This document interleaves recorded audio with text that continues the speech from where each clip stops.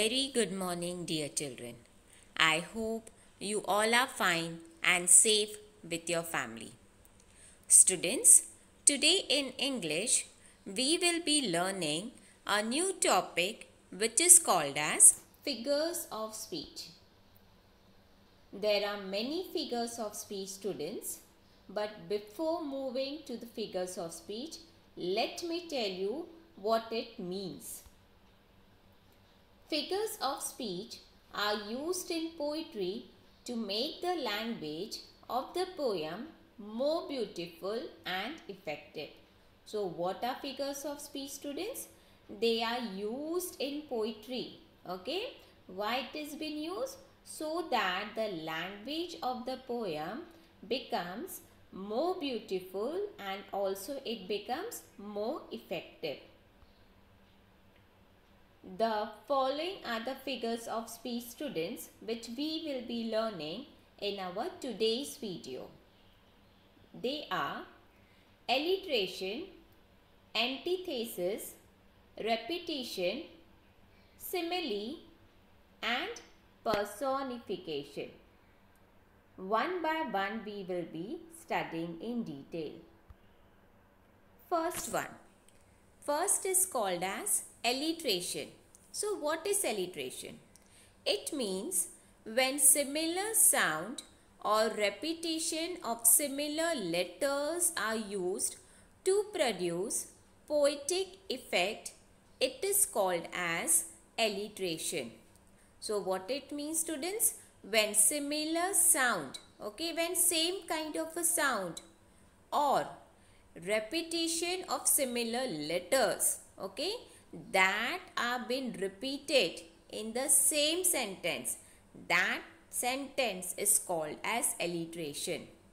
Example i have given students. See besides the lake beneath the trees. I repeat besides the lake beneath the trees. So what would be the answer over here? It is nothing but it is alliteration. Why is it alliteration? Because the sound of B is pleasingly repeated. You can see B stands, B besides also is there and B is being given as beneath. So beside and beneath this both words starts with alphabet B. Okay.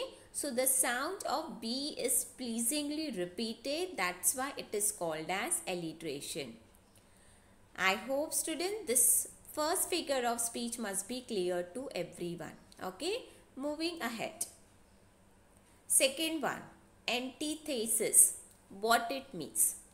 A striking opposition or contrast is brought about in the same line using words opposite in meaning.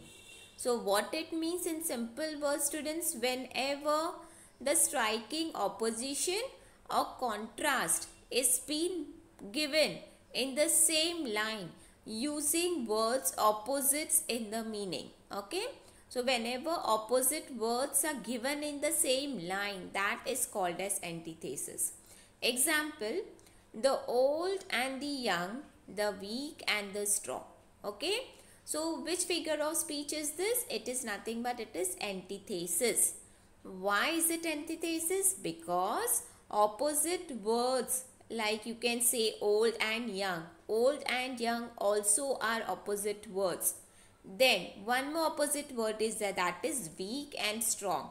Okay, so these opposite words are used in the same sentence. So it has been called as antithesis. I hope students this must be clear with everyone. Third one. Repetition. What is repetition? Words or phrases are repeated for poetic effect. Okay.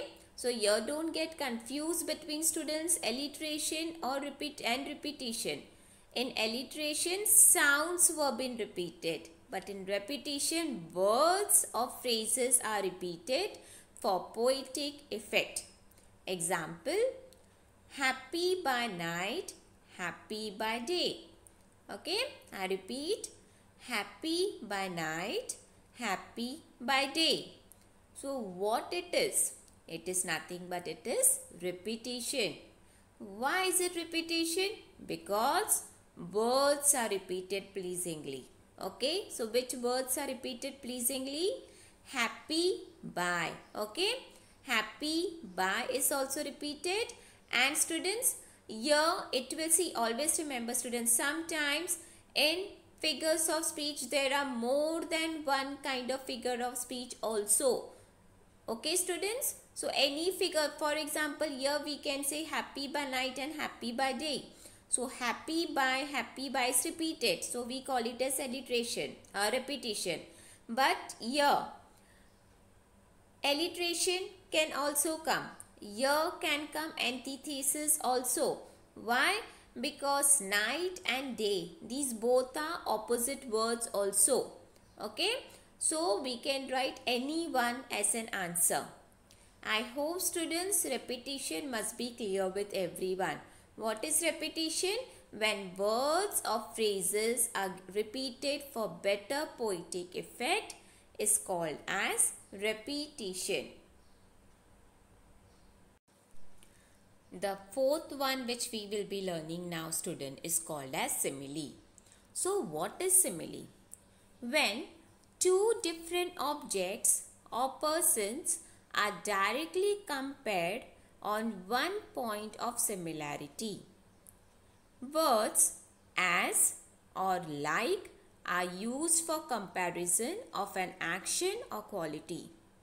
So what it means? It means when two different objects or persons are directly compared on one point of similarity okay so when two different objects or persons when they are compared directly on any one point of similarity it is called as a simile words as or like see when it is a simile in that sentence mostly the words like or as are used okay so words as or like are used for comparison of an action or quality Example we will look into.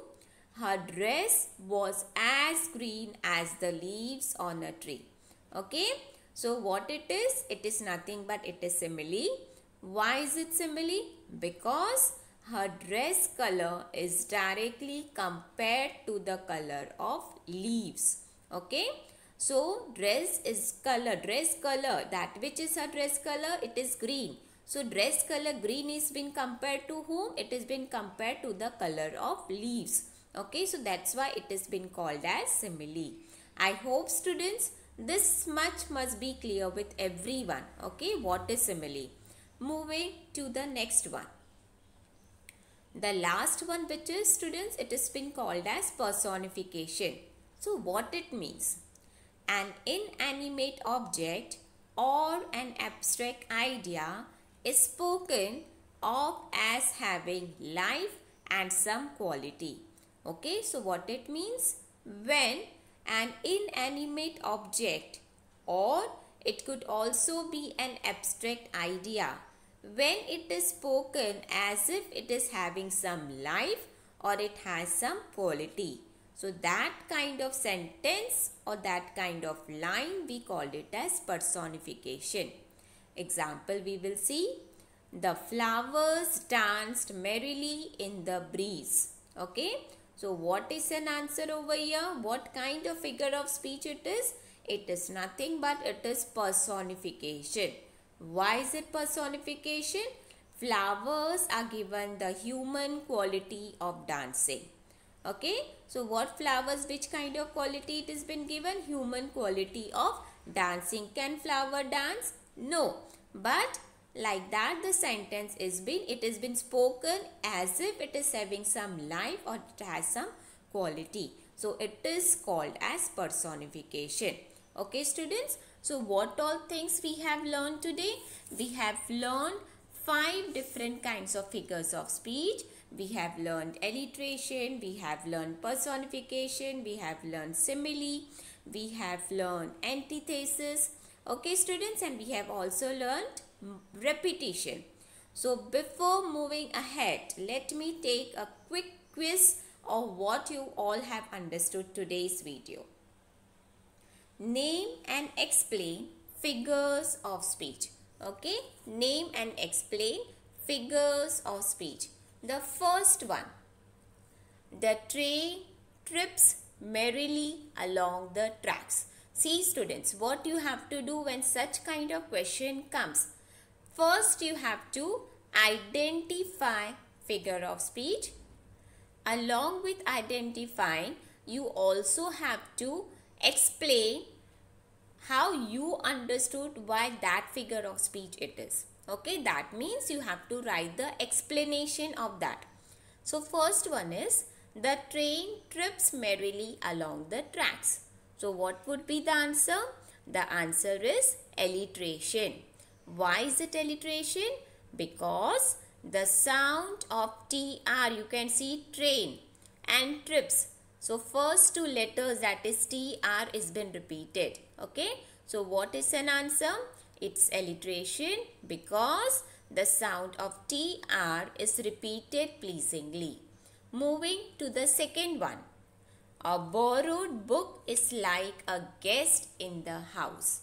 Okay, I repeat, a borrowed book is like a guest in the house. So what would be the answer over here? It is simile. Why is it simile? A borrowed book is compared to a guest in the house. Okay, so again here the word is been given student as like if you will see in the second sentence. So it is called as simile and always remember students more than one figure of speech may be given in the sentence. So second one if you will see it is repetition also. Why? Because A alphabet is been repeated, word is repeated. It is also alliteration also because B sound is been repeated like borrowed okay and it is simile also. So you can write any one which you feel is correct. Moving to the third one. The waves beside them danced. I repeat, the waves beside them dance. So what would be the answer over here? It is nothing but it is personification. Why is it personification? Because waves are given the human quality of dancing. Can wave dance? No. But waves are given the human quality of dancing. Moving to the last one. Pray you, great sir, be quick, be quick. Okay. So what sentence it is? It is nothing but it is repetition. Why it is repetition? Because words are repeated for effect. Okay. So here students we have done with five figure of speech that is alliteration, antithesis, repetition, simile and personification. Students, if any doubt is there with anyone, I request you all to again go through the video and get the doubts clear. Thank you so much.